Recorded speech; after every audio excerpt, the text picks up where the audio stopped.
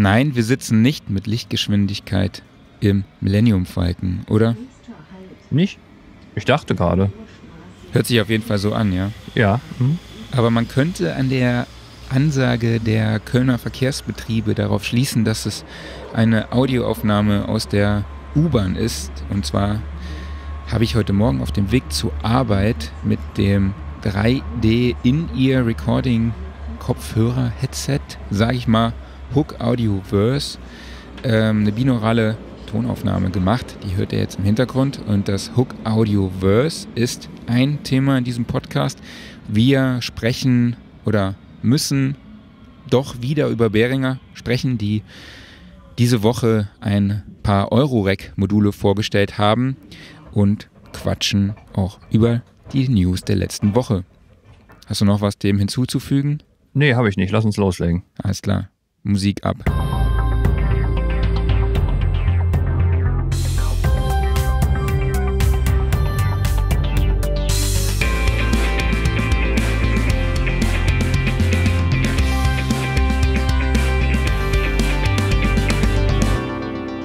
Sound and Recording Wochenrückblick, Ausgabe 6. Mein Name ist Marc Bohn. Mein Name ist Klaus Beetz. Schon Ausgabe 6, ne? Ist irgendwie, die Zeit fliegt dahin. Das ging schnell, ja, stimmt. Vor, Ja, wir können keine Ahnung, ich dachte, äh, äh, vorgestern haben wir darüber gesprochen, auch wir könnten ja mal so einen Wochenrückblick-Podcast machen, jetzt schon die sechste Ausgabe. das stimmt. Man könnte es auch Mischwarenladen nennen. Ja. Sollten wir mal drüber nachdenken. Mhm, ja. Aber Wo Wochenrückblick ist auch okay. Aber lass uns das mal hier so über die Feiertage mal durch den Kopf gehen lassen. Genau. Also wenn ihr Ideen habt, wie wir unser Gelaber hier nennen können, dann äh, redaktion at soundrecording.de. Ja? Es gibt ja Leute, die wollen äh, unser Gelaber vorspulen, habe ich gehört. Also Ich kann es ihnen nicht verübeln, ne? Also ja, an alle die, die uns unser Gelaber gerne vorspulen möchten, den kann ich eigentlich empfehlen, direkt zum Ende zu spulen oder unsere Kapitelmarken zu nutzen, ähm, über die ihr quasi zu dem Thema kommt, äh, worüber wir sprechen und was euch interessiert. Und dann könnt ihr auch Themen, die euch nicht interessieren, einfach äh, übergehen. Genau, ganz easy. Genau. Kommen wir mal zum ersten Thema. Wir sind mit der Studioszene auf der Musikmesse bzw. der ProLight and Sound 2020 vom 31.03. bis 3. April Mhm. in Halle 8, haben dort wieder unsere, ja, unseren Stand, unseren Marktplatz quasi äh, 120 Quadratmeter mit diversen Ausstellern um uns herum, mit einem sehr attraktiven Workshop-Programm. Ähm, in diesem Jahr haben wir sogar äh, eine Premiere und zwar schalten wir einen international erfolgreichen Produzenten, einen deutschen Produzenten, äh, der in Australien lebt, live über Skype nach Frankfurt Ach geil. und machen mit ihm eine kleine QA-Session und er wird halt auch äh, aus seinen Produktionen was zeigen und berichten. Das wird auf jeden Fall sehr, sehr spannend und äh, machen wir einen Live-Podcast. Oh, könnten wir mal drüber nachdenken. ne? Das wäre erstens für mich ein Grund, mal wieder zur Musikmesse zu fahren. Das wäre für dich mal ein Grund, wieder aus deinem Studio rauszukommen und ans Tageslicht zu gehen. Was ist das? ja, ich erkläre es dir im Nachhinein. Wie gesagt, wir Okay. wollen ja nicht so viel labern heute. Ja. Genau, da müssen wir noch einen Termin machen. Ich Mhm. würde mal vorschlagen, den 31.03. oder den 3. April. Mach dir mal Gedanken, wie du Alles Zeit klar. hast. Genau, wir wollten noch nicht so viel quatschen. Legen wir direkt los. Äh, Mhm. Gear Corner. Jawohl, es Auch- geht um Beringer. Genau, auch wenn wir nicht darüber reden wollten, müssen wir es leider schon wieder tun. Ne? Also, Weil das klingt jetzt so, als ob wir Beringer ja nicht mögen würden. Wir mögen Beringer ja. ja, wir mögen sie, ne? aber wir, wir sprechen gefühlt je, in jedem Podcast über sie. Ja? Die sind halt fleißig.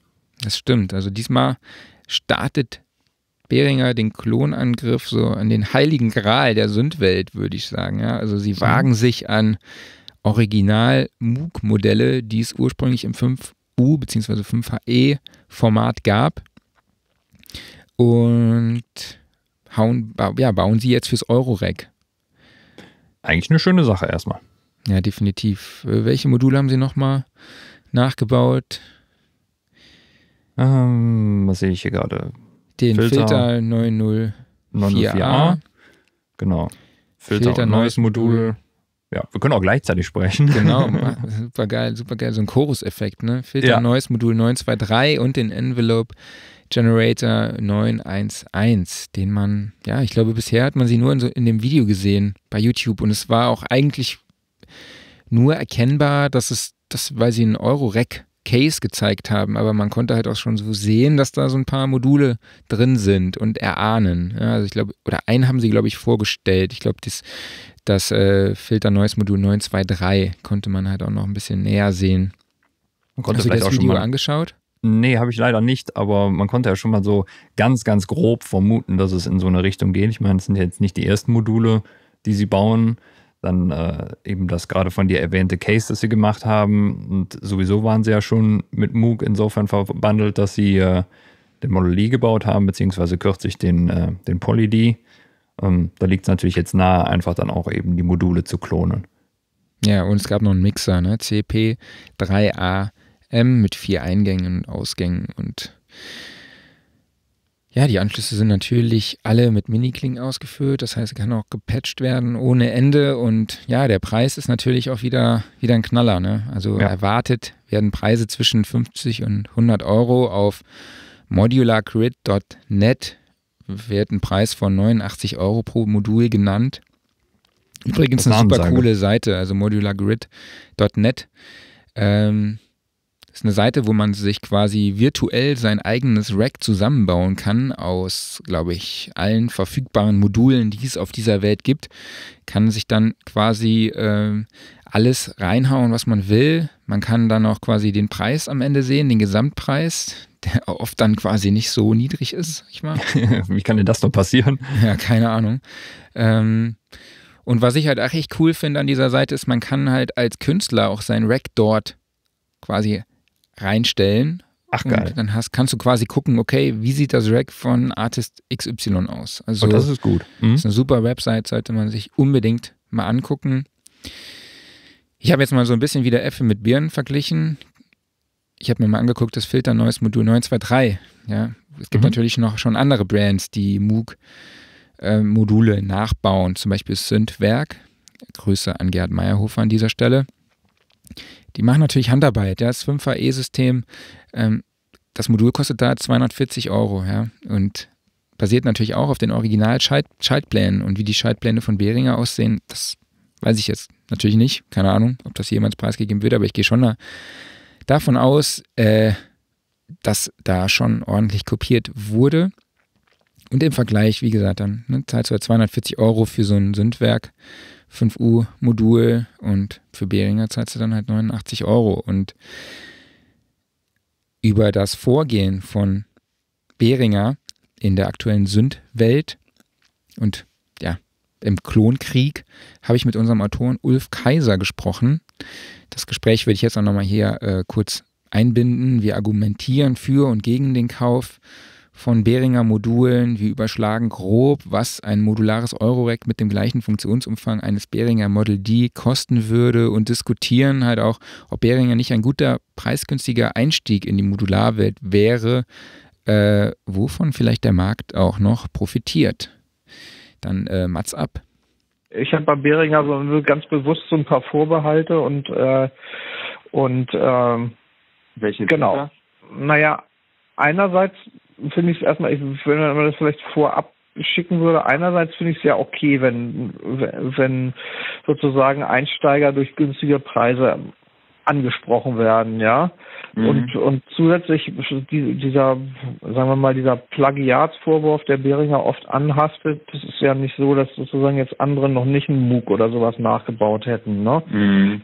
Allerdings finde ich bei Behringer, ich finde es auch zusätzlich super, dass Behringer diese Chips irgendwie selbst fertigt. Ne? Mhm. Aber wo ich echt ein Problem habe, ist sozusagen normalerweise die, die, die Art und Weise, wie das geschieht bei Behringer. Also es wird sich überwiegend, also überwiegend wird sich halt an, an ehemals vorhandenen Geräten auch optisch orientiert. Mhm. Ja? Heißt, man holt sich da immer so ein bisschen Lorbeeren ab, was weiß ich, vom Korg MS20, von einem Pro One und jetzt in dem Fall vom System 100. Ne? Und das wäre meines Erachtens eigentlich unbedingt nötig. Ne? Also mhm. ich meine auch, äh, Äh, auch Roland hat zum Beispiel eine TA8S im Angebot. Ne? Das ist, da sind ja jetzt auch 808 und 909 Klänge drin, aber es hat ein eigenständiges Design. Ist außerdem sowieso vom Hersteller selber ist gemacht. Ja selber ne? gleichen, ja. ja ist, das ist sozusagen auch nochmal der Unterschied. Und, und äh, ich meine, Behringer hat ja auch ein paar eigene Sachen gemacht, die das finde ich auch toll. Die haben eigentlich auch, finde ich, neben der Chipfertigung haben sie auch, glaube ich, die Kapazitäten dazu. Äh, also ein bisschen mehr Eigeninitiative würde ich bei so einem großen Unternehmen eigentlich fordern. Und es ist, es fällt ganz oft darauf zurück, dass es auch ein Kaufargument ist, dass das Teil, das sieht so aus wie das, was man eigentlich nachbauen möchte. Äh, nachbauen, okay, machen viele und dann ist es auch noch besonders aggressiv Preis bepreist und sieht auch noch zusätzlich so aus und das finde ich so ein bisschen, das muss nicht sein, so. Mhm. Beringer ist einfach nicht Roland, ist auch nicht Korken, ist auch nicht Sequential Circuits, auch wenn deren Patente vielleicht ausgelaufen ist. Das ist einfach, äh, das, das muss nicht sein, finde ich. Mhm. Und, und einher mit solchen visuellen Ähnlichkeiten geht natürlich auch immer sozusagen das, das Verlangen, was man beim Kunden da damit auslöst. Nicht? Also mhm. man erwartet natürlich automatisch jetzt, äh, wenn man so ein Gerät kauft, auch wenn es extrem preiswert ist, dass es dann möglichst auch so gut wie das Original klingt. Und da, also da kann ich jetzt zugegeben nicht richtig aufgrund von A-B-Vergleichen nicht wirklich mitreden. Ich glaube auch, dass das ganz gut ist und insbesondere, dass es bei einem Synthesizer auch äh, ganz gut sein kann, selbst wenn es Unzulänglichkeiten bei den Bauteilen aufweist. So eine 303 klingt, ist ja auch jetzt kein High-End-Gerät, mhm. sondern äh, quasi ein glücklicher Zufall. Aber ich würde jetzt mal unterstellen, wer sagt, ich baue ganz betont Dinge nach, spare mir also in gewissen Grenzen gewisse Ingenieursleistungen,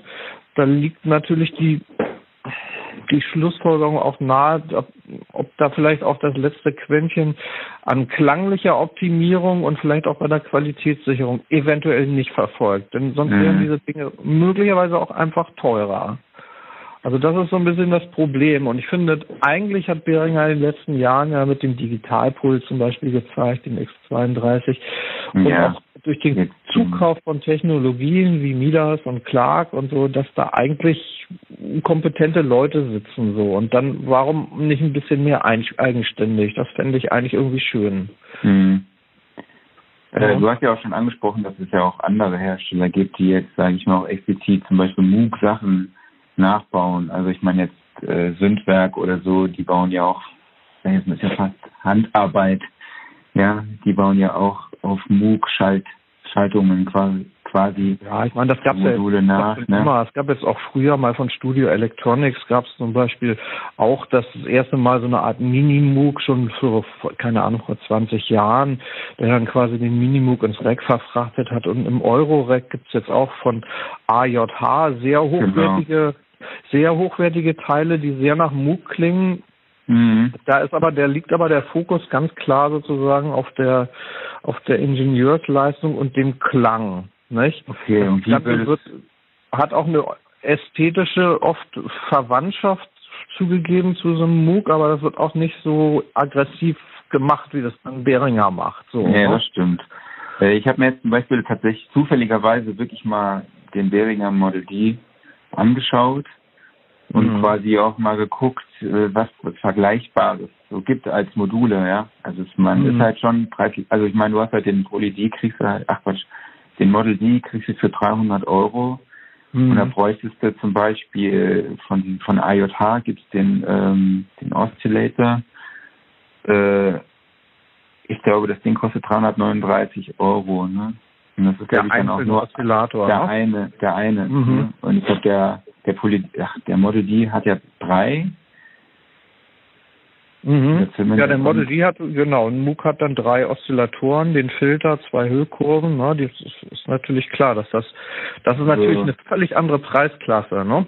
Also in Summa summarum kämpft ja da, glaube ich, dann, ich weiß ja, es ist auch so ein bisschen Äpfel mit Birnen vergleichen, ne? Also käme man da ja schon auf äh, 2000 Euro fast, ne? Wenn man mit ungefähr das umsetzen würde, mhm. was der Behringer Model D kann, ne? Und das für ja. einen Einsteiger wahrscheinlich oder wie würdest du einem Einsteiger, bei einem Einsteiger argumentieren? Aber oder würdest du sagen, ach, Einsteiger macht eigentlich total Sinn, auf Beringer zurückzugreifen? Ja, wenn er, also wenn er das sozusagen, wenn er dann sozusagen, ja, wie soll man es sagen? Also ähm, es ist, vielleicht wie, wie in anderen Bereichen auch. Also wenn du dir jetzt ein, ein, äh, ein Smart kaufst, dann erwartest du natürlich auch keinen Mercedes, ja. Mhm. Äh, das vielleicht, das ist vielleicht dann auch der Unterschied. Also klar, der Einsteiger, der weiß beim Kauf eines Smart, dass er ein kleines Auto bekommt und äh, und im Musik analog im Musikbereich würde er sozusagen bis vor wenigen Jahren jetzt noch davon ausgegangen sein, wenn er einen richtigen vernünftigen Minimuk haben möchte, dass er da auch sehr viel Geld auf den, auf den Tisch legen muss. So, und äh, Beringer bewegt sich jetzt da so ein bisschen dazwischen und äh, macht das nach dem, was ich höre, zumindest jetzt beim Model D, glaube ich, auch ganz anständig. Ne? Mhm. Aber wie gesagt, ich habe so ein Ding selber nie gehört und äh, ich besitze so einen AJH äh, Minimoog, der äh, sehr gut klingt auch im Vergleich zu einem Reissue Minimoog, zu einem ganz alten Minimoog kann ich das jetzt nicht so genau sagen. Und auch im Vergleich zum Model D kann ich das nicht wirklich genau sagen, aber es ist auf jeden Fall sehr, sehr, äh, also hochwertige Ingenieurskunst, die dahinter steht. Und äh, das könnte jetzt, würde wahrscheinlich ein Einsteiger sich jetzt äh, sich ohnehin nicht leisten wollen. Und insofern finde ich das jetzt erstmal auch legitim, einem Einsteiger ein deutlich günstigeres Gerät ans Herz zu legen. Einfach aufgrund der Vorteile. Er kriegt man, er kriegt trotzdem Synthesizer, er kriegt die Haptik, die man möchte, er kriegt sogar MIDI. Mhm. Und das ist natürlich jetzt erstmal grundsätzlich erfreulich. Ob das dann so aussehen muss wie ein Minimoog, das ist eigentlich eher die Frage, die ich äh, mir stelle. Also mit seinem Neutron ist ja dieses äh, dieses andere Gerät, das hat ja nun weniger optische Ähnlichkeit mit anderen Sachen und das finde ich jetzt auch kein Deutsch schlechter. Also es muss jetzt nicht im Moog-Design daherkommen. Aber ja. wenn es das tut, ist es also vielleicht sieht man es dann auch als als Musiker und gerade in diesem Fall ein bisschen zu verbissen, weil ich glaube einfach, dass, dass Behringer da einfach selber saubere Vorarbeit geleistet hat. Das es ging ja mit den Mackie-Sachen los, früher mit mhm. den Eurodesk, was einfach dann auch einen Rechtsstreit mit Mackie gab und äh, dann gab es mal Boss-Effekt-Pedale, die dann sofort wieder vom Markt verschwanden, weil sie zu ähnlich aussahen und äh, da muss man natürlich mit dem eigenen Ruf dann leben, den man sich irgendwann geschaffen hat. So grundsätzlich ja, ja. Beringer ansonsten einfach einer von mehreren äh, Anbietern, die die die in Fernost Sachen günstig fertigen und damit ein, eine Nachfrage bedienen. Das will ich jetzt ja. gar nicht in Abrede stellen. Das machen andere auch, machen in anderen Bereichen. Wahrscheinlich sogar abseits, wahrscheinlich sogar in allen Bereichen gibt's das ja. Jeder von uns mhm. bestellt bei Amazon irgendwelche Sachen, die äh, eben auch irgendwo dort hergestellt werden, weil sie günstiger sind und die Nachfrage das auch möchte. Also grundsätzlich erstmal schön. Ich meine, wie soll man es auch anders machen? Also man stellt einfach die Alternative wäre für, für das Geld, was Behringer da bietet, ein Plugin zu kaufen. Und das kann man halt nicht anfassen in der Art und Weise. Insofern finde ich das erstmal auch schön. Danke an dieser Stelle auch nochmal an Ulf.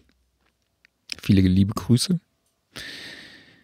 Bist du eigentlich ein Sünd bist du eigentlich ein Modul-Nerd? Modular-Nerd? Nee, noch nicht. Also ich habe zwar ein, ähm, ein ich würde es noch nicht Modularsystem nennen. Also ich habe so ein, äh, so ein, so ein kleines Arturia-Rack und äh, witzigerweise das einzige Gerät, was bisher da drin hängt, ist ein Behringer Gerät, nämlich der Behringer Neutron. Den habe ich mir mal da als Einstiegsdroge gekauft. Ähm, aber ansonsten war ich tatsächlich bisher immer der, der große Synth-Fan äh, von Einzelgeräten. Genau, und, ich sehe das äh, immer im Video, wenn wir, wenn wir Skype, Video-Skype-Chat machen, sehe ich Ja, so im Hintergrund, da steht ein bisschen Kram rum. Ne? Genau, ja. ja. Steht da so ähm, rum. Genau, richtig. Und äh, ich denke, ich werde das irgendwann in Zukunft mal intensivieren, aber äh, erstens ist es natürlich eine relativ kostspielige Kiste. Zum anderen, was mich immer so ein bisschen noch abschreckt, ist die Tatsache, dass es halt in der Regel äh, monophon ist. Aber es ist natürlich, was jetzt reines Sounddesign angeht, ja, sky's the limit. Ne? Allerdings auch dann halt, was die eigene Geldbörse angeht. Das heißt also, die Behringer Module wären definitiv was für dich, oder? Ja, natürlich. Also, ähm, wenn da die Qualität stimmt, ja, warum denn nicht? Ne? Ähm, ich würde da, glaube ich, äh, also gerade jetzt am Anfang halt, wenn man anfängt, erstmal sich so einen Grundstock zusammenzubauen, ähm, ist das natürlich eine super Möglichkeit. Ähm, genauso würde ich jetzt an der Stelle zum Beispiel auch mal Döpfer erwähnen, die ja preis-leistungsmäßig auch ganz fantastisch sind und von denen absolut. man zumindest weiß, dass auch die Qualität da absolut einwandfrei ist. Ähm, ja, und wenn Behringer sich da behaupten kann, ja, warum denn nicht? Also der, der Neutron an sich ist ja schon mit genug Patchpunkten äh, versehen, dass man den schon so als ein paar Einzelmodule fast sehen kann. Und wenn man den jetzt noch mit ein paar kleinen äh, zusätzlichen Modulen ergänzt, dann wäre das eine sehr schöne Sache. Definitiv. Wo Behringer auch vertreten war, ist die Superbooth 2019. Ich gehe mhm. auch einfach davon aus, dass sie im nächsten Jahr wieder dabei sein werden. Und äh, die waren im letzten Jahr auch wirklich absoluter Publikumsmagnet, neben, ja. dem, neben dem Udo, würde ich einfach mal sagen. Mhm. Fand ich auch so witzig, die, ich weiß nicht immer noch nicht, wie man, ob man Udo sagt oder UDO oder Judo oder was weiß ich. Ja, Judo klingt nach Kampfsport, aber. ja, die, ich muss immer meinen Arbeitskollegen Udo nennen. Also wir reden von dem, von dem Synthesizer, der dort quasi vorgestellt wurde. Hast du dir das Teil mal angeguckt? Äh, ich habe ein paar Bilder davon gesehen, habe ihn aber tatsächlich noch nicht weiter verfolgt. Okay. Ich glaube, er ist auch noch nicht verfügbar. Wir mhm. wollen ihn auf jeden Fall testen. So, jetzt versuchen wir den Bogen wieder zurückzuspannen zu Superbooth. Early genau. Bird Tickets, also Superbooth 20 vom 23. bis 24. April. Das habe ich mir mit Sicherheit falsch notiert.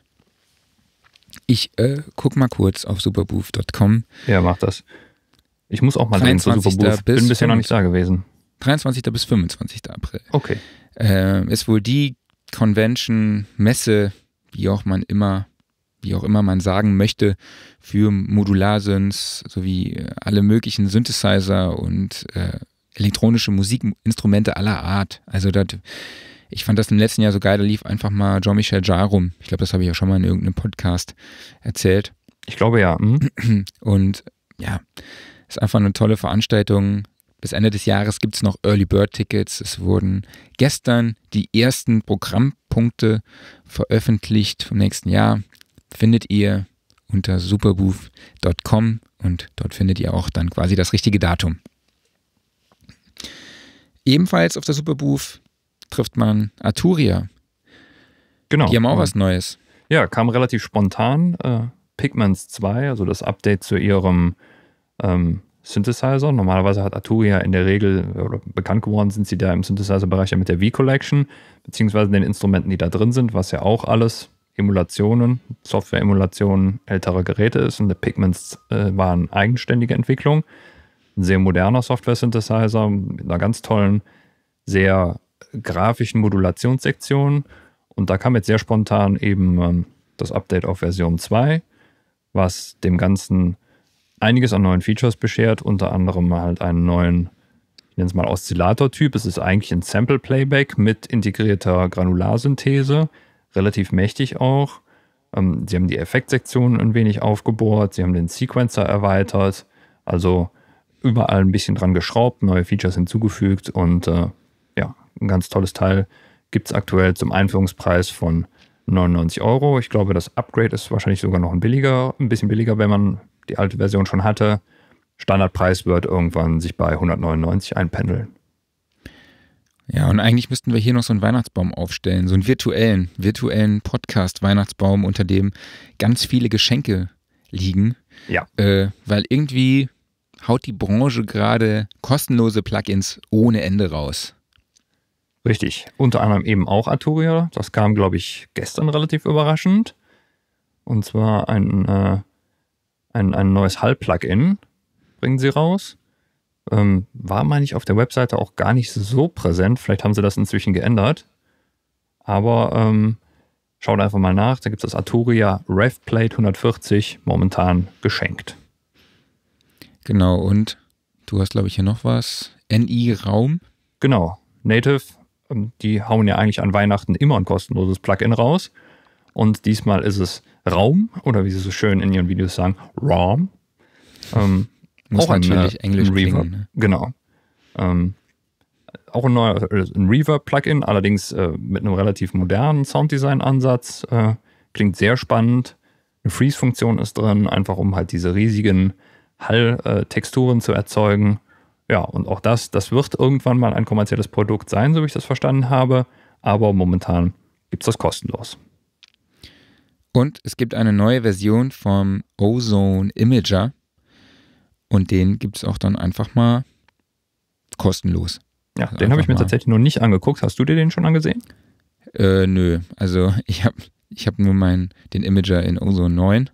Genau. Hm? Äh, das reicht mir. Ist das der neue? Ich glaube, es, oder ist das noch, gibt es nochmal ein Update? Das weiß ich gar nicht. Ich, ich bin noch bei Ozone 8 momentan. Achso. Tja. geschenkt, geschenkt. So. Das war's, glaube ich, mit den Geschenken erstmal, oder fällt dir noch irgendwas ein? Mm, nee. Ich glaube, nee. kommen wir wieder zurück so, zu sachlichen News. Jawohl, genau. Ähm, News von äh, UJam. Und zwar gibt es äh, das Update des Beatmakers auf Version 2. Der äh, Beatmaker von UJam, das ist ja, ähm, den gibt es in, sag mal, drei Geschmacksversionen für verschiedene Musikstyles. Und äh, sie haben jetzt da ein, äh, das Upgrade auf die Version 2 veröffentlicht, was einiges an interessanten neuen Features beinhaltet. Unter anderem MIDI Drag und Drop äh, in, die, in die DAW von Phrasen. Sie haben äh, individuelle Outputs eingebaut. Ähm, der Content wurde quasi verdoppelt. Ähm, es gibt äh, eine Erweiterung der Master-Sektion und die Upgrade-Preise sind, glaube ich, sehr human, wenn ich mich da recht erinnern kann. Also wer moderne Beats bauen möchte und da ein sehr schönes, übersichtliches und einfach zu handhabendes Tool braucht, ähm, der schaut sich mal den Beatmaker von UJam an. Warst du da nicht dran beteiligt irgendwie? Da war ich rein zufällig auch dran beteiligt, ja. Ich habe ein bisschen das äh, Instrumenten-Scripting übernommen, einen kleinen Teil davon. Ja, interessant. So, was haben wir noch? Dann kam gestern noch die Meldung, dass Bitwig Studio 3.1 jetzt verfügbar ist. Neulich haben wir ja angekündigt, dass die Beta äh, released wurde. Jetzt gibt es Bitwig Studio 3.1 offiziell. Genau.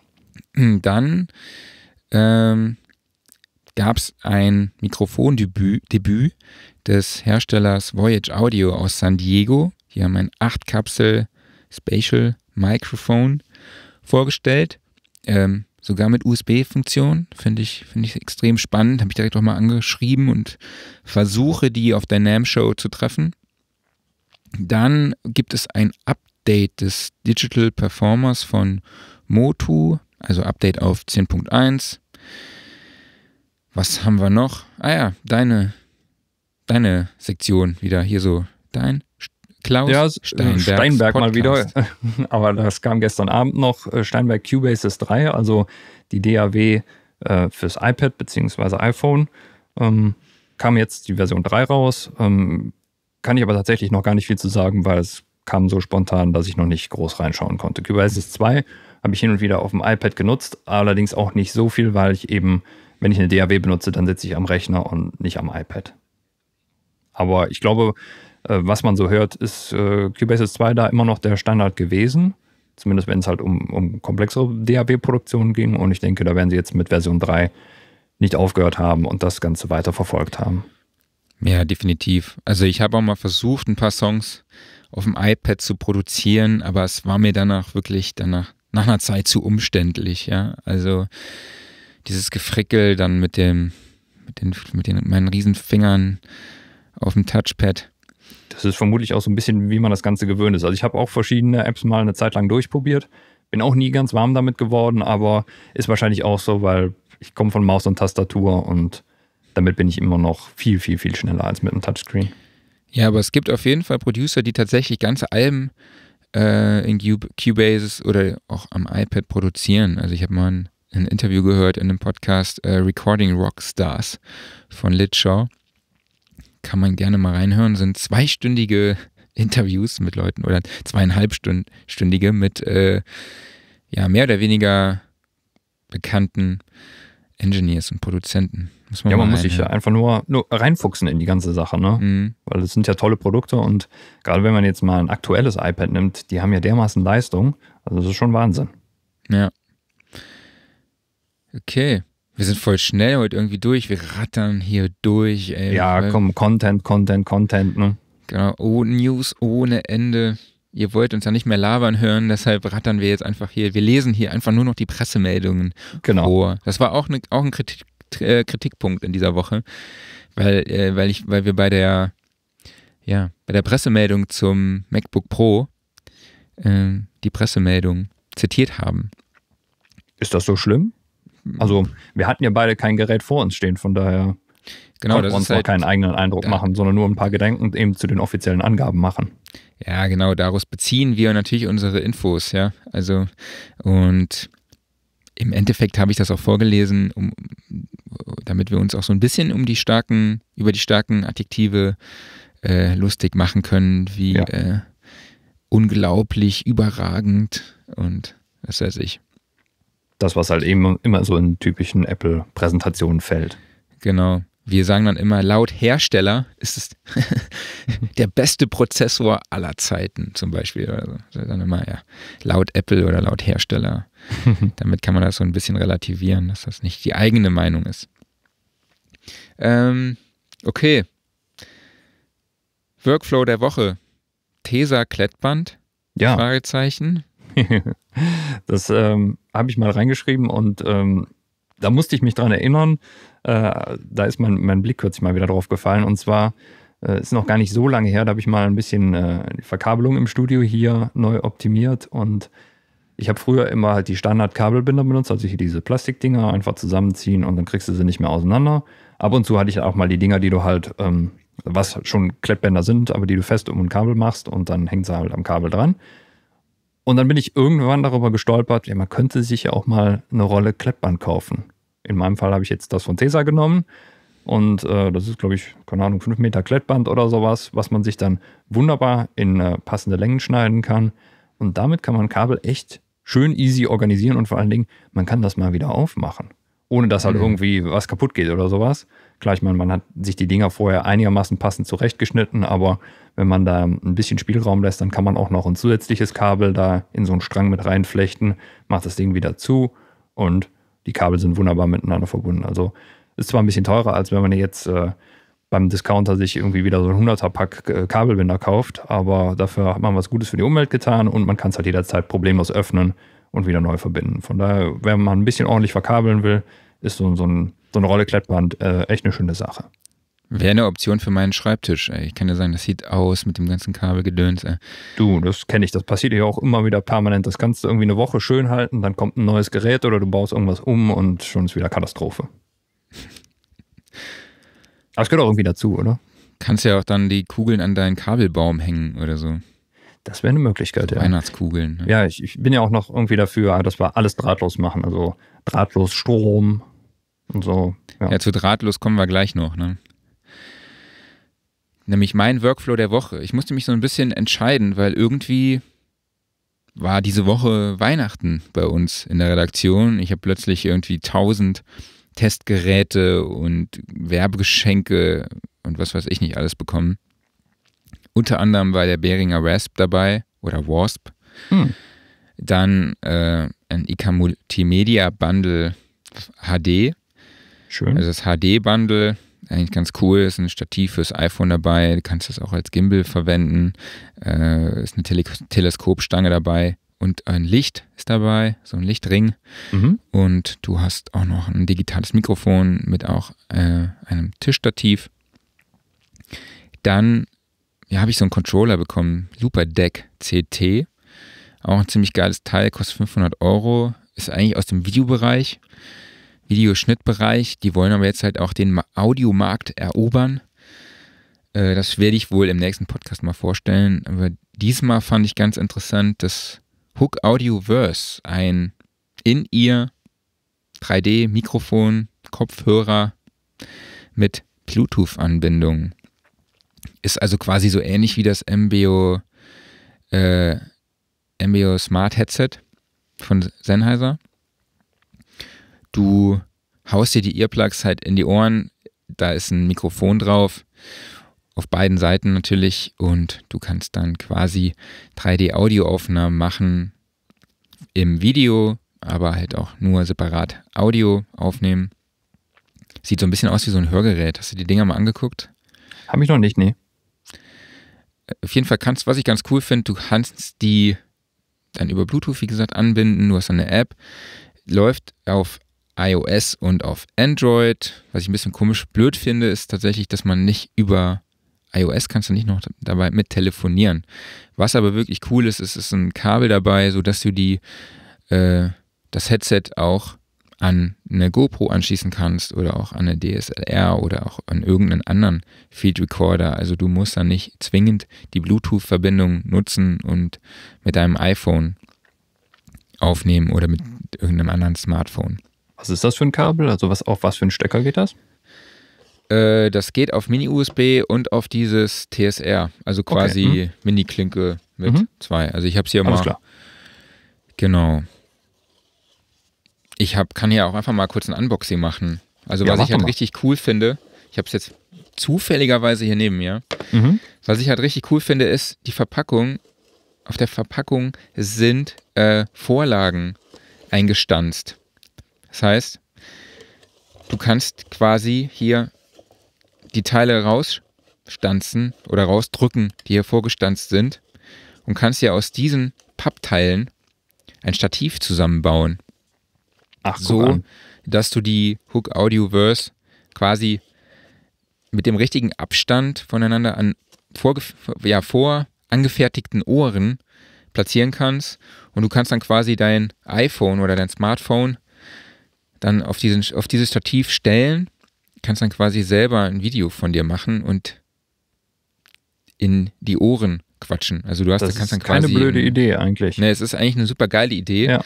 Vor allem ist es halt auch so, die Verpackung wird noch weiter genutzt. Also ich hoffe, es ist äh, verständlich, was ich hier gerade versucht habe zu erklären. Ich finde es auf jeden Fall super geil. Ich habe es noch nicht ausprobiert, aber werde ich auf jeden Fall machen. Was haben wir hier noch drin? Ist auf jeden Fall ein schickes Etui dabei, äh, wo man, wo halt die Hook Audioverse drin sind.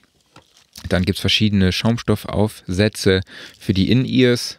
Finde ich tatsächlich auch immer sehr ganz, immer ganz gut, weil ich verliere die Teile einfach regelmäßig. Eigentlich finde ich dieses Konzept scheiße. Aber auf der anderen Seite ist es halt auch einfach hygienischer, ne? Mhm, als, ja. als wenn du jetzt. Ja? Äh, ich muss dann immer den Ohrschmalz rauspulen. Aber egal. Genau, dann ist noch dieses Kabel dabei, wo du dann quasi. Also du kannst die Hook Audio auch über USB laden. Es steht dabei, dass 10 Stunden oder so soll das Teil aushalten. Das ist doch schon mal was. Ja, und über diesen USB-Anschluss kannst du dann halt eben noch ein Kabelmann dran machen, wo du dann quasi auf dieses, auf die Mini-Klinke gehst oder auf dieses Micro-USD, um dann halt quasi einen Field Recorder anzuschließen oder eine mhm. DSLR oder eine GoPro oder was auch immer. Genau, es sind noch zwei Windschütze dabei, was ich tatsächlich auch ziemlich cool finde, denn klar, diese Teile haben halt immer ein Problem mit Windschutz. Das war beim MBO Smart Headset auch so. Ich bin heute Morgen auch mit dem Fahrrad gefahren und hatte die Teile an, einfach mal so zum Test. Und das hat natürlich nicht funktioniert. Mit Windschutz war es tatsächlich auch ein bisschen schwierig, aber muss man natürlich auch dazu sagen, das Wetter war heute Morgen auch so ein bisschen windig und äh, auf dem Fahrrad ist dann natürlich immer noch auch ein bisschen anders, ein bisschen extrem. Also da würde ich jetzt nicht sagen, das ist jetzt irgendwie ein Ausschlusskriterium. Äh, ist das ein, ein, ein Schaumstoffwindschutz oder ein Fellwindschutz? Genau, so ein Schaumstoffwindschutz, genau. Okay. Ist ein Kondensatormikrofon, recht charakteristik Kugel. Genau. Und dann hat man es halt, gibt dann halt auch die Hook-App dazu. Man muss quasi sein Smartphone über Bluetooth mit dem Headset verbinden, kann dann auf die App zugreifen. In der App kann man dann auch wieder auswählen, will man Video machen oder einfach nur reine 3D-Audioaufnahmen. Wenn man 3D-Audioaufnahmen hat, hat man quasi zwei Pegel links und rechts, also auch zwei Fader, mm, um die Pegel zu steuern. Was ich tatsächlich falsch gemacht habe, ist, äh, ich dachte nämlich, das Teil wäre für laute Pegel nicht so geeignet. Ich bin so ein Typ, ich lese mir eigentlich grundsätzlich nicht die äh, Beschreibung durch, mhm. sondern ich, ich probiere einfach aus, genau. Und dann war ich im Stadion, ähm, in Iserlohn, im Eisstadion, Iserlohn Roosters gegen die Kölner Haie. Stand dann im Fanblog und wollte Aufnahmen machen, habe ich auch getan. Habe ich aber einfach die ganze Zeit gefragt, warum die Aufnahme einfach viel zu übersteuert ist. Ja? Und tatsächlich habe ich es dann gestern oder heute Morgen rausgefunden, weil wenn man nämlich mit dem Fader, also ich bin so vorgegangen, dass ich gedacht habe, okay, ich drehe den Fader runter, also ich ziehe die Fader runter, um das Eingangssignal zu regulieren, also auch zu minimieren. Ja? Mhm. Also bei mir ist runterdrehen, Eingangssignal geht auch runter. Ja? Mhm. So, jetzt habe ich aber festgestellt, es ist genau umgekehrt. Man muss quasi den Fader nach oben schieben, um dem Signal quasi mehr Headroom zu geben. Das ist nicht wirklich intuitiv. Das fand ich jetzt ein bisschen, ein bisschen strange, habe ich jetzt heute, ich glaube, es war tatsächlich doch erst heute Morgen, habe ich das dann rausgefunden und dann entstand halt auch diese Aufnahme, ja. die ihr am Anfang gehört habt, wo wir schön reingequatscht haben. Ich werde sie auch nochmal ans Ende hauen. Und ähm, unter den Show Notes, also www.soundrecording.de slash podcast, findet ihr wieder die Show Notes zu dieser Episode und dort habe ich dann auch das Soundbeispiel eingebunden. Preislich liegen wir bei dem Hook Verse bei ungefähr, wo habe ich es denn aus? Ich habe 160 Euro, genau. Das ist okay. Das ist okay. Das Amio Smart Headset kostet 190 und da bist du halt auch gebunden quasi an Lightning. Mhm. Ich finde es eigentlich ganz cool, dass das, äh, ja, dass das Hookverse so flexibel ist, ne? dass du es sowohl über Bluetooth am Smartphone verwenden kannst, aber halt auch über Kabel dann mit einer DSLR. Das finde ich schon mhm. Finde ich schon echt cool, weil, wir haben ja schon kabellos ein bisschen angesprochen, hat tatsächlich noch so ein paar Probleme. Ja? Also, nachdem man quasi die Aufnahme gestartet hat über die Hook Audio App, hat es so ein bisschen Startschwierigkeiten. Ne? So, es dauert so, die ersten zwei, drei Sekunden sind noch so ein bisschen verwackelt, sage ich jetzt mal. Da gibt es auf jeden Fall Aussetzer und Glitches und Pausen, wie du auch schon gemerkt hast. Mhm. Und auch zwischen längeren, in längeren Aufnahmen kann es auch mal eine kurze Pause geben. Ja, und die, das ist halt natürlich mit Kabel gebunden, hast du da natürlich nicht die Probleme. Ich finde es trotzdem super, dass man es über Bluetooth versucht und es auch die Möglichkeit gibt. Und die Aufnahme, die ich jetzt auch erstellt hatte und die rausgeschnitten habe, die war ja auch eigentlich störfrei. Also die war ja. störfrei. das ist gut, sagen. wenn du einfach beide Möglichkeiten hast, dass du dann halt kabellos äh, spontan arbeiten kannst. Aber wenn du sagst, okay, jetzt kommt es wirklich darauf an, dass halt hier die Übertragung einwandfrei ist, dann nimmst du das Kabel und bist dann auf der sicheren Seite. Genau, die App ist mir auch ein paar Mal leider abgeschmiert, aber da habe ich direkt den Support angefunkt und die haben mir dann halt quasi so eine, so eine Liste geschickt mit äh, Sachen, die ich mal überprüfen soll und angehen soll. So, das, das hat auch, das hat es auch gebracht. Also ich hatte okay. halt das Problem, dass ich, ich hatte die Aufnahme gestartet, habe mein, habe das, äh, das Handy in meine Hosentasche gesteckt und habe natürlich das Spiel geguckt. Und dann nachher habe ich gesehen, als die, als ich die App dann wieder öffnen wollte, konnte ich das irgendwie nicht. Also mhm. ich habe gesehen, dass die Aufnahmezeit weiterläuft, weil ich konnte die Aufnahme nicht beenden. So, und dann musste ich die App komplett schließen mhm. und die Aufnahme ging dann leider verloren. Und das war natürlich sehr ärgerlich. Ne? Ja, also vor stimmt. allem, ich, natürlich kannst du mal versuchen, kurzfristig, okay, ich drücke jetzt auf Aufnahme und dann hoffst du halt, dass gerade irgendwie der mega geile Sound kommt. Aber das passiert halt in der Regel nicht. Also theoretisch, also mhm. du musst halt in der Regel einfach über eine längere Zeit aufnehmen um dann mhm. da halt genügend Content zu haben, den du auch verwenden kannst. Ne? Mhm. In dem Fall habe ich gerade so noch mitbekommen, wie ein Tor gefallen ist, aber das für das falsche Team. Aber das ist ein anderes mhm. Thema. Ähm, genau, ich habe mir mal viele Notizen noch gemacht. Ich gucke mal gerade, was ich noch nicht über, über was ich übersehen habe vielleicht. Genau, Monitoring läuft über die Lautstärkeregelung am Smartphone selber. Probleme mit Wind habe ich angesprochen. Wie gesagt, da gibt es den Windschutz dafür. Äh, und ja, wenn man sich halt dann die Aufnahme halt anhört, man fühlt sich halt schon wirklich intensiver in der Situation. Also man kann auch, die Ortung ist extrem cool und die Auflösung auch. Also klanglich ist das Teil auf jeden Fall absolut okay. Also habe ich jetzt nichts dran auszusetzen. Man kann natürlich jetzt nochmal diskutieren, inwieweit es wirklich binaural ist, äh, werden die Reflexionen von der Ohrmuschel, Ohrmuschel richtig aufgefangen und umgesetzt. Aber ich habe es eben meinem Arbeitskollegen hab gesagt, setz dich mal hier auf den Stuhl, hör dir mal die Aufnahme an. Und er meinte zu mir, Marc, wenn du jetzt noch am Stuhl rüttelst, dann habe ich wirklich das Gefühl, ich säße in der Bahn. So. Oh, nicht schlecht. Ja.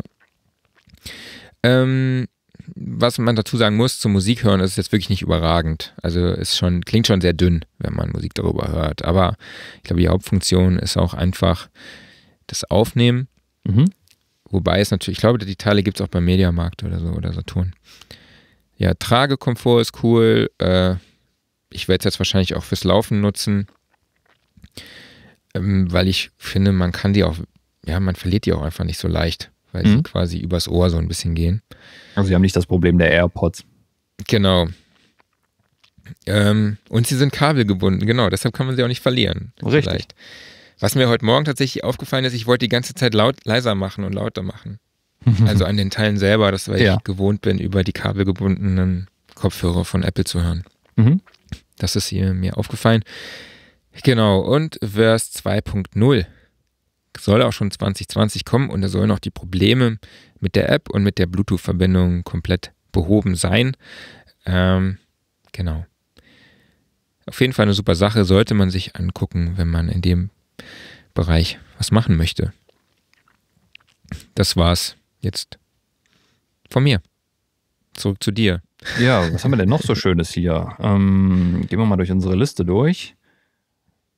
Du hast eben noch erwähnt, du hast das äh, ICA Multimedia HD Bundle zugeschickt bekommen. Wolltest du dazu noch was erzählen oder? Nö, das habe ich ja quasi, das, was ich erzählen wollte, habe ich jetzt eben schon getan. Also von Alles daher. Klar. Dann, ja, dann äh, sind wir bei also, deinem Aufreger der Woche. Ja. Mein Aufreger der Woche ist eigentlich gar nicht wirklich ein Aufreger, aber ich hab, hast du schon in The Irishman reingeguckt? Nee, aber ich muss dringend noch. Also äh, Hammer ist ja absolutes Star-Aufgebot, von daher, äh, ja, ich bin gespannt. Ja, ich sag mal so, die Story, die kann man sagen, die sie zieht sich etwas. Ja? Okay. Also so dreieinhalb Stunden Film, das ist schon, ist schon ein Brett. Ja? Mhm. Also meine Frau und ich, wir gucken es auch so im Serienformat, so mhm. immer mal halbe Stunde, 40 Minuten. Wir sind auch noch nicht ganz durch. Also es geht ja um das Verschwinden des amerikanischen Gewerkschaftsanführers Jimmy Hoffa, mhm. Der gespielt wird von El Pacino. Dann geht es um Robert De Niro, der jetzt quasi so ein, ja, so ein ein Helfer war von der ja, italo-amerikanischen Mafia-Familie Cosa Nostra. Der Anführer war damals Russell Buffalino, der gespielt wird von Joe Pesci. Ich glaube Pesci sagt man. Pesci? Aber ja. Kann ich mich aber auch irren. Ja, ich habe keine Ahnung. Aber weißt du, wo der mitgespielt hat? Ja, natürlich. Ist äh, einer der legendären feuchten Banditen. Genau. Aus Kevin allein zu Hause. Ja, Hammer. wunderbarer Film zur Weihnachtszeit. Definitiv. Trivia der Woche. das war so mein Highlight der Woche so. Als ich den gesehen habe, dachte ich, boah, geil, das ist der, der Schurke aus Kevin allein zu Haus, der war das der Typ, der das, das Bügeleisen in die Fresse kriegt? Nee, das war der andere, ne? Äh, das war, glaube ich, der andere, ja. Der andere ist aber auch in den Nagel getreten, ne? Der hat es, glaube ich, so genau. richtig abbekommen. Daniel Stern, ja. Genau. Du bist ja echt, du bist das ja so 90er Jahre Filmkultur, ne? Das ist auch so dein Ding.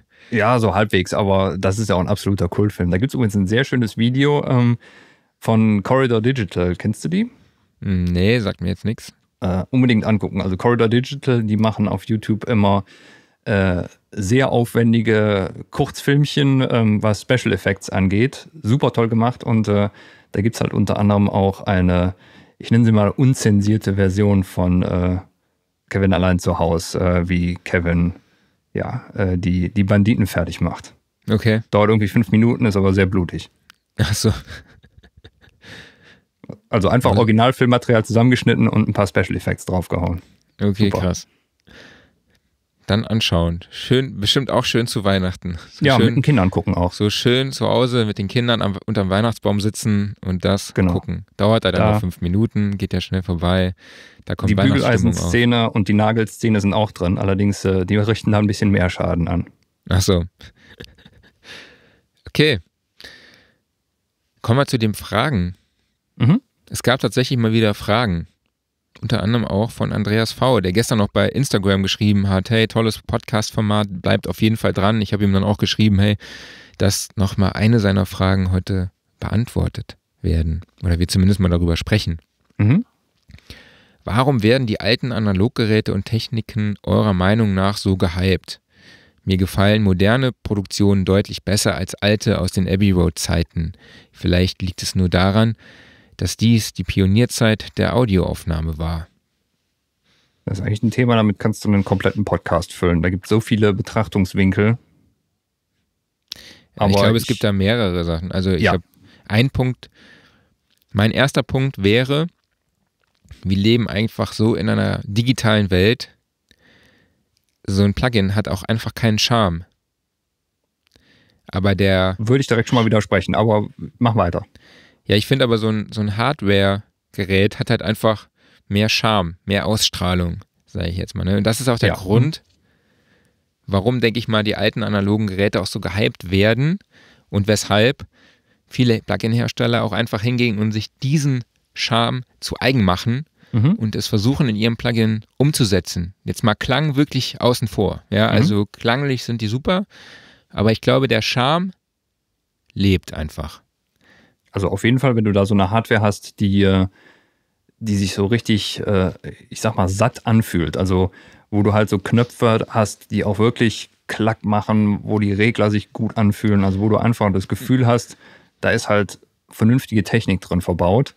Ähm, das ist ein unheimlich befriedigendes Gefühl. Also es gibt halt genauso gut auch Hardware, wo es halt einfach so vor sich hin wabbelt und glibbert und äh, einfach denkst, okay, nee, das ist es nicht, aber wir sprechen ja jetzt hier speziell von den alten Zeiten, wo die Geräte in der Regel ja auch gebaut waren wie ein Panzer und äh, da kann ich das komplett nachvollziehen. Also das hat, das hat einfach eine, eine gewisse Art von Wertigkeit. Also deshalb wollen, glaube ich, auch viele dem ähm, oder hängen dem so ein bisschen hinterher, aber ich denke, das Wichtigere ist wahrscheinlich wirklich dann nochmal der Sound und da gibt es ja ganz verschiedene Geschmäcker. Ja, absolut. Also wenn wir jetzt zum Beispiel mal, wir können ja mal in die ganz Anfangszeiten da zurückgehen, nehmen wir mal die Beatles zum Beispiel. Wie äh, stehst du denn so zu den Beatles? Puh. also ich finde die Beatles super geil, was die damals gemacht haben an, durch, mit der Technik, die ihnen zur Verfügung stand, ist halt wirklich unglaublich. Und auch wie die mit dem Panorama gespielt haben, Stereobild und alles mögliche, Drums links und so, ja, was ja heute kein Schwein mehr machen würde.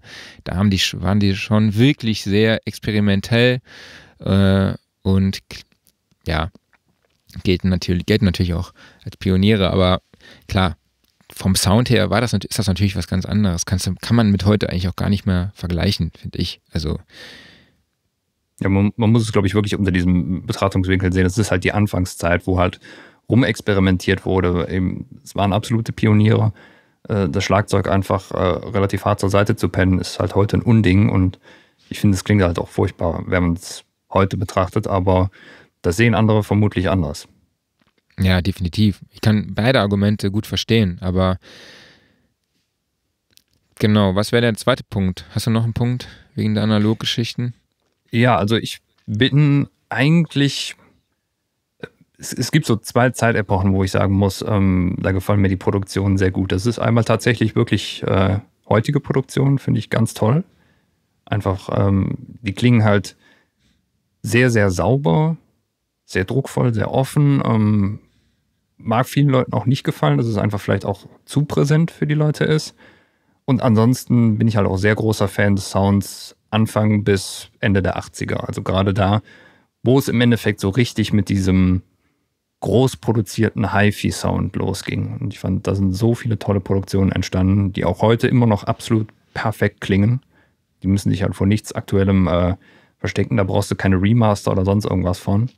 Mhm. Ähm, ja, das sind eigentlich meine zwei Epochen, wo ich sagen muss, äh, ja, klanglich bin ich da komplett zu Hause. Wobei ich jetzt neulich mal die neue Platte von Howard Jones angehört habe. Mhm.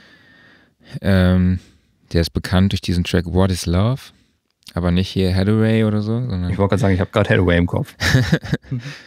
ich will es jetzt nicht vorsingen, guckt euch es einfach an. Ich habe auch bei keywords.de ein Interview mit ihm geführt.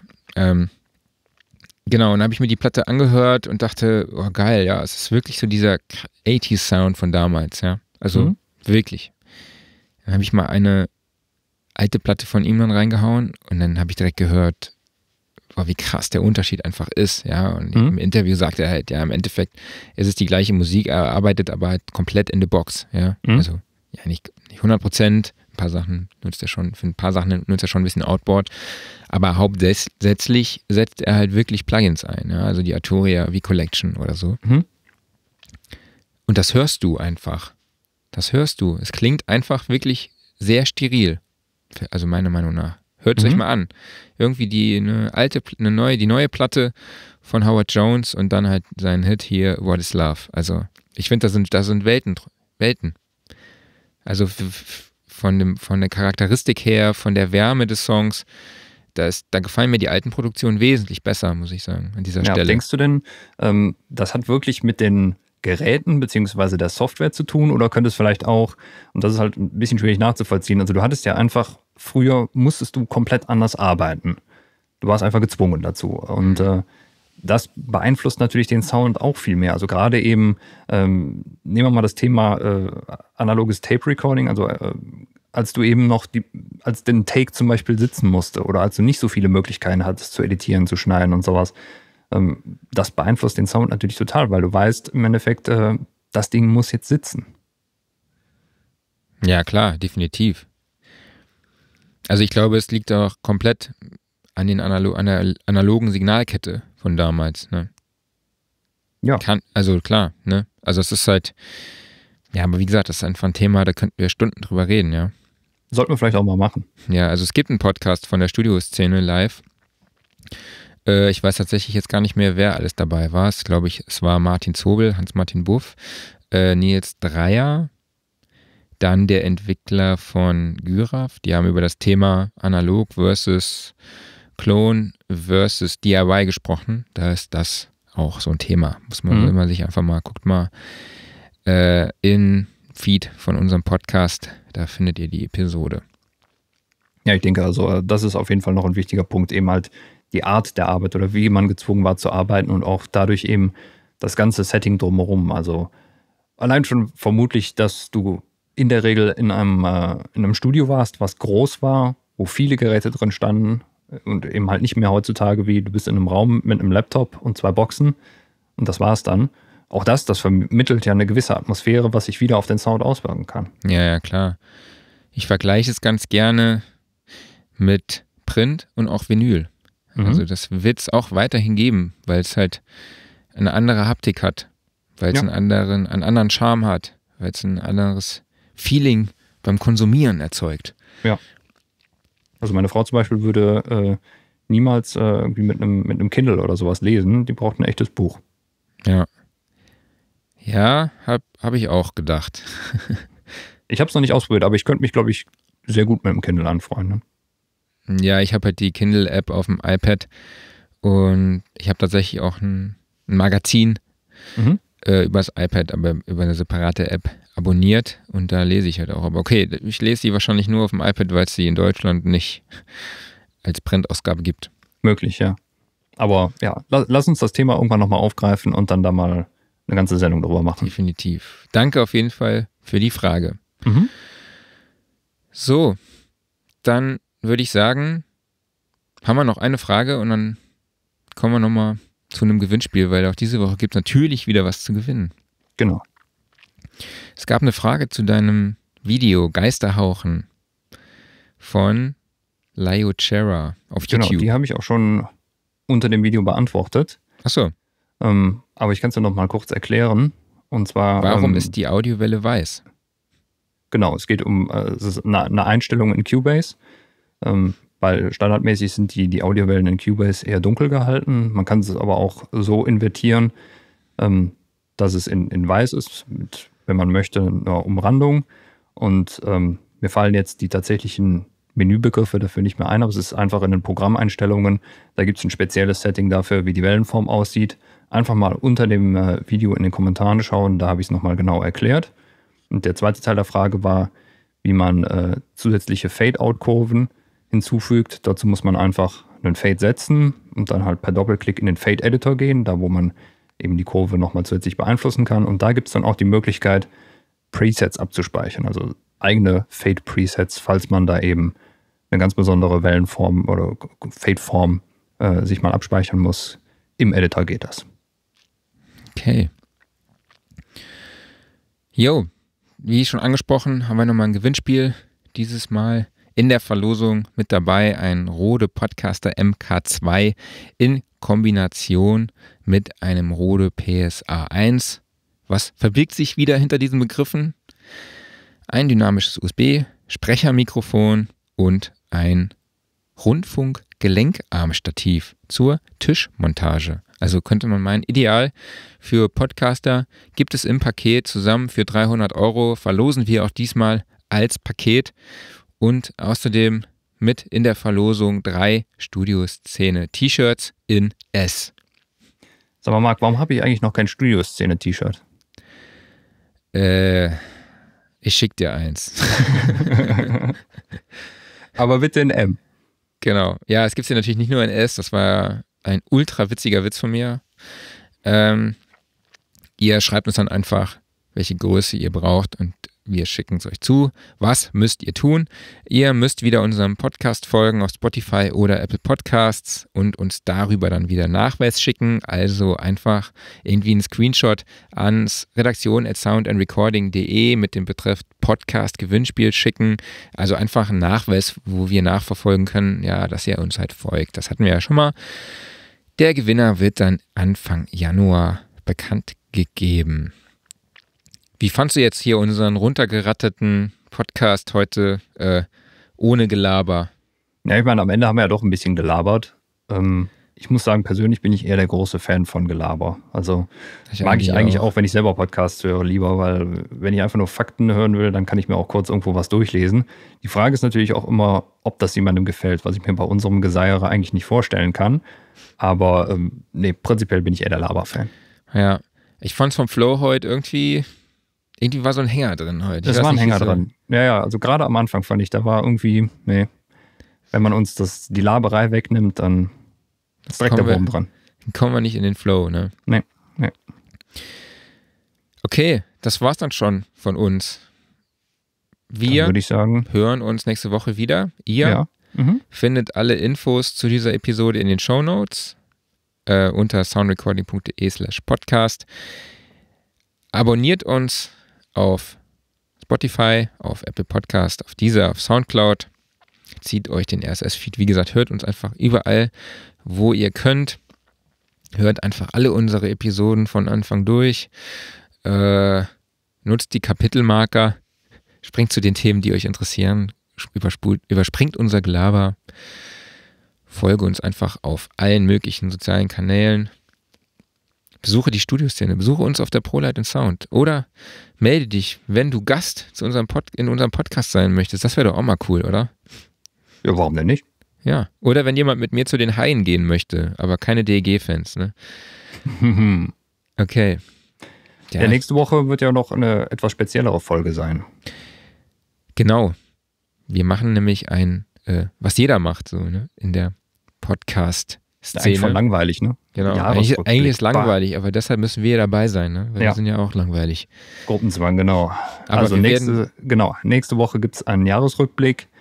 Ähm, wahrscheinlich etwas speziellerer Art. Besprich, wir besprechen verschiedene Themen außer Sound und Recording, die wir hatten. Das ist dann wahrscheinlich hauptsächlich so dein Gebiet. Und ich werde mal überlegen, was war denn so Besonderes für mich audiomäßig dieses Jahr dabei? Und äh, wenn ich jetzt so spontan drüber nachdenke, war tatsächlich gar nicht so super viel. Aber das ist dann halt auch tatsächlich äh, die ganz persönliche Meinung. Ja, nächste Woche wird es persönlich und es gibt nächste Woche nur Gelaber. Also nur Gelaber. Also kann ich euch schon mal vorbereiten. Gar nicht reinhören. Nee, genau. Ja, ich werde mir auch vorher einen schönen Glühwein hier machen. Und, ja, das ist ja doch geil. Ich habe eigentlich Urlaub nächste Woche. Ach so. Wir brauchen hier noch so ein Glöckchen oder sowas. Irgendwie so, so ein, oder so ein Jingle Bell Intro oder sowas. Was ja eigentlich für Thanksgiving gedacht war. Nochmal so eine kurze Trivia am Rande. Ja. Äh, genau, ich würde sagen, bevor wir jetzt wieder anfangen zu labern, machen wir Schluss, oder? Ja. Okay, das war's von uns. Mein Name ist Marc Bohn.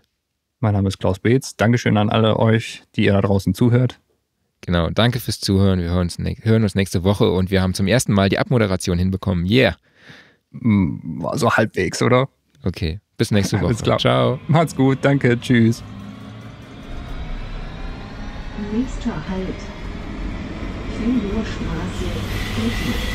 Bahnhof Edenstedt. Ausstieg. Umsteigemöglichkeit zum Regionalverkehr. Vereinswagen und zu den Linien 13, 141, 142 und 143.